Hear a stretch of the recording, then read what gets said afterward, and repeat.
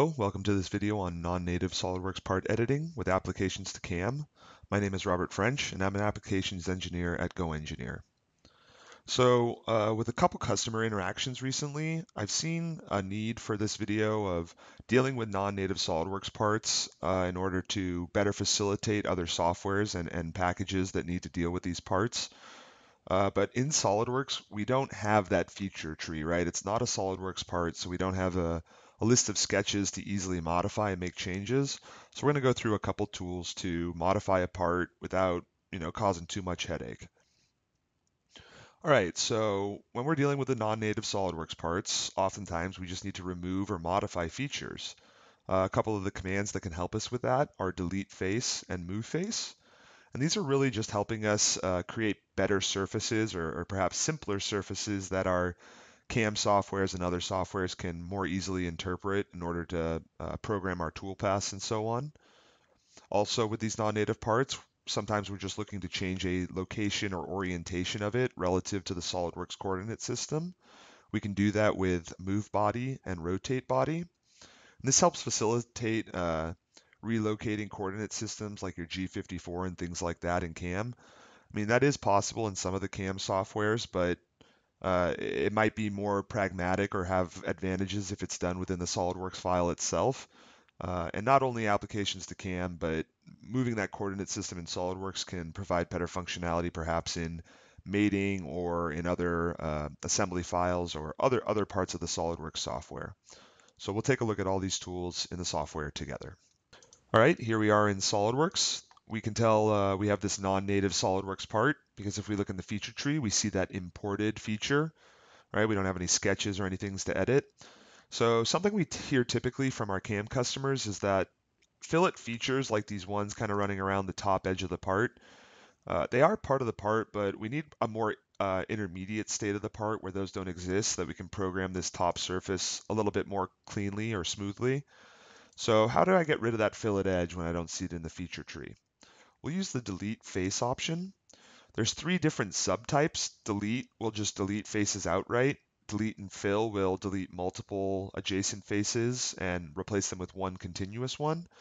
And then the option we're going to use, delete and patch. We'll delete a face, but extend the ones around it in order to kind of uh, fill in where that gap will be created and create a little bit more of a, a clean edge or, or simpler edge. So I'm going to go in and choose all my fillet faces four of them running around the top of this part. And when I complete the command, you can see that we extend all the other surfaces that are around them and create one new crisp clean edge. Now this is great for either resizing fillets or changing a fillet to a chamfer. So it has other applications, not just within CAM, but uh, can facilitate a lot of different uh, or, or handle a lot of different problems. Additionally, sometimes parts come in undersized. We need to just do slight modifications to their size or, or shape. Uh, if we look at the bottom side of this part and this hole running through, we can see that hole's at an angle. So if I wanted to make this part taller, uh, or, in, or in essence make this, this hole longer, I could perhaps do a sketch on this bottom face and extrude it out, but that wouldn't maintain the orientation of this hole, right? We'd be going straight down at a slight angle. Uh, or a different angle than this hole. So we're going to use the move face command. And what that does is allows me to choose a face. And now I could either use my uh, parameter boxes on the left-hand side in the property manager to type in a, a, you know a very explicit value, or I can use these drag arrows out here to just kind of show you the point, which is as I start to move this surface, as I start to make this part taller and taller, notice the relationship of the hole to the edge of the part, right? We're maintaining that angle, right? We're extending that hole and, and maintaining its design intent, its true definition. So that when I finally complete this command, I'm maintaining a, lot of the original design intent of this part.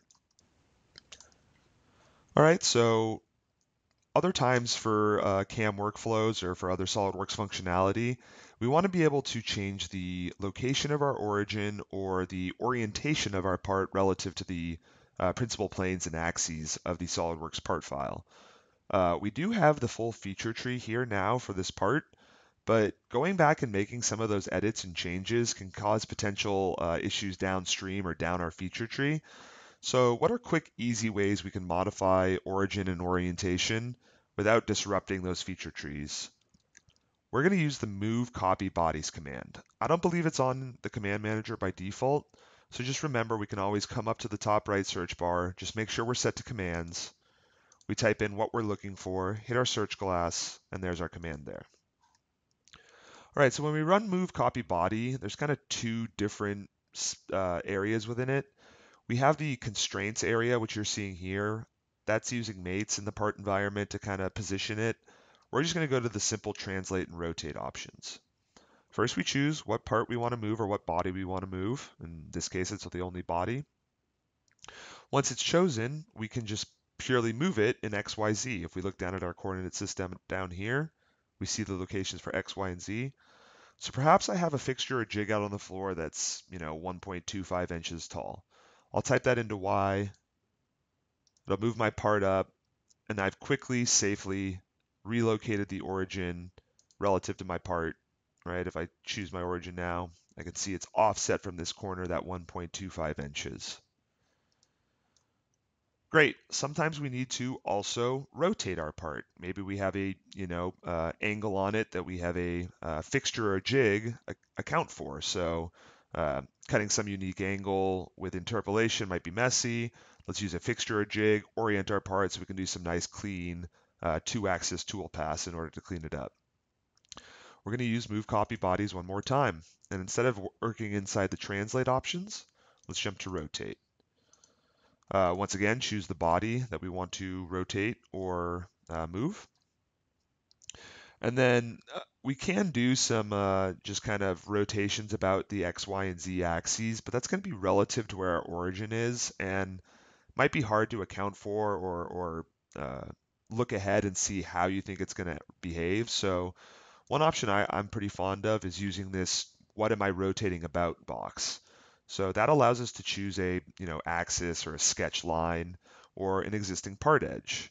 I'll choose that existing part edge, and now I only have one box because all I'm saying is rotate the part about that specific entity that I chose. So if there was a 15 degree angle uh, on this part and I had a jig to account for it, I can rotate it the 15 degrees, I hit check mark. So now not only is my origin right offset from that corner where it originally started, if I look at my principal planes, I'm oriented different to those as well. So this can help facilitate, right? Both of these tools can both uh, help facilitate where my G54 is, what orientation my part is in my machine. Uh, but, but this can also serve different functionality within SOLIDWORKS, right? We can now use these different planes and origin locations to uh, perhaps mate better in different ways that we couldn't before. Uh, that's all I have for you guys. Thanks for watching.